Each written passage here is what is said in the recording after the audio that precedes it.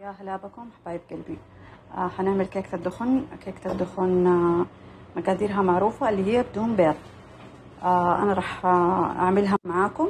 أغلبكم أعتقد آه آه يعرف المقادير بس حنجددها مرة تانية مع بعض. عندي كوبين من دقيق الدخن. عندي نص كوب سكر نص كوب زيت نص كوب حليب بودرة رشة ملح نص ملعقة صغيرة قرفة ونص ملعقة صغيرة هيل وملعقة صغيرة مليانة baking powder اللي هو هذه هذه الملعقة وكوب ونص موية. أوكي؟ أول شيء راح أحل الموية مع السكر هذه أول خطوة راح أعملها إني ادوب السكر في الموية. حطيت كوب ونص موية ونص كوب السكر وراح أخفقهم شوية كده لحد ما يذوب السكر. راح أحط كمان نص كوب حليب البودرة ونص كوب زيت. ما شاء الله عندي الشكاوي برا هذه إلزامية كل يوم. كيان ومحمد فراح أقلب الزيت مع الحليب والموية والسكر. راح أضيف الهيل الملح هيل وقرفة طبعا والملح. وراح أضيف الدقيق الدخن. والله دي أسهل كيكة تعمليها.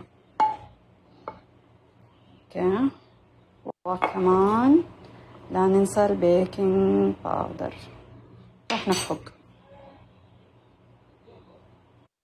هذا قوام الكيك. كذا عندي خلص.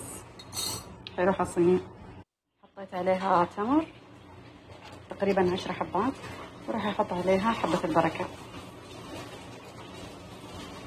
حبة البركة اختياري بس هي حلوة مع كيكة الدخن. اي صينية تدخل عندي الفرن ما أدخلها كذا الفرن مباشرة.